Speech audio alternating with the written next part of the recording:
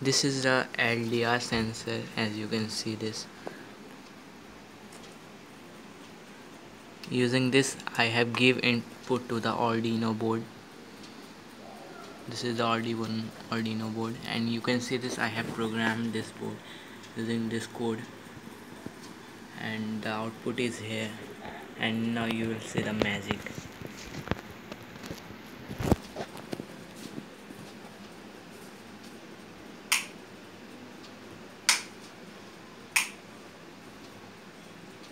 here you can see that.